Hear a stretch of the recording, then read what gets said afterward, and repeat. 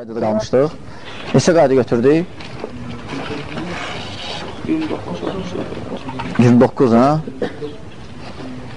30-da qaldıq. Burada sonra Şeyx Rahmanullah İmam Əhməd Əhl-i Sünnə və Cəma imamlarından biri buyurur ki 30-cu qayda usul-u sünnənin sünnə, yəni əsaslarından biri də və qismatul fey ilə əimməti madin leysə li əhədin ən yətən aleyhim və lə yunazi'ahum hmm.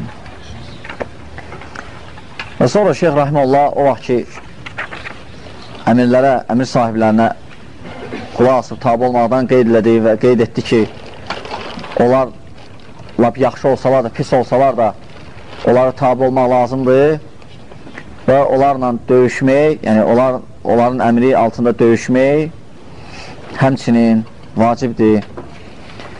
Və sonra Şeyh Rahimullah yenə o məsələni davam edir və buyurur ki, və qismatul fey yəni döyüşdə ki, qənimət düşmür.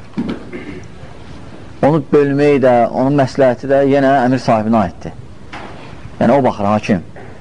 Və həmçinin və iqamətül hudud və iqamətül hudud yəni hədd eləmək, cizalandırmaq günahkarları. Məsələn, birini cinayət eləyib, onu cizalandırmaq. Yəni, biz ki, şəriətdə oğurluq eləsə, əl kəsilir belə eləsə belə olunur, belə eləsə belə olunur. Bu yenə hamısı bunlar əmir sahibinə aiddir. Yəni, əmir sahibinin altında əmir olunur. Və iqamatul hudud iləl əimməti madin. Yəni, bu ta axıracandır, yəni qiyamətəcən. Hansınız dəyişmir. Leysə li əhəd ən yət'ana aleyhim və heç kəsə ixtiyarlı yoxdurları tən eləsin və lə yunaziyahum. Və həmçinin onlara itaat etməkdən dönsün. Onlara itaatdən. Və Şeyh Rahimullah bu qayda, 30-cu qayda da gətirir və ümumiyyətlə ə, Peyğəmbər s.ə.v əmir sahiblərinə tabi olmağı həm ayələr var, həmçində hədislər var, çoxlu hədislər. Ə,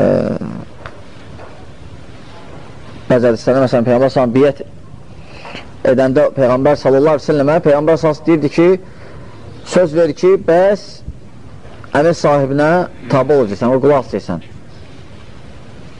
Çətinlikdə və yaxşı olanda da. Və həmçinin onun əmri altına çıxmamaq.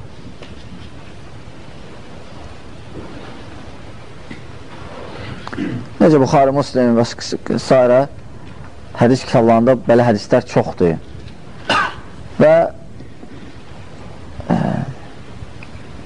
Həmçinin hədisdə burada davam edir ki, və həmçinin haqqı demək harada olsan və Allahdan başqa heç kəsdən qorxmaq. Yəni, haqqı deməkdə.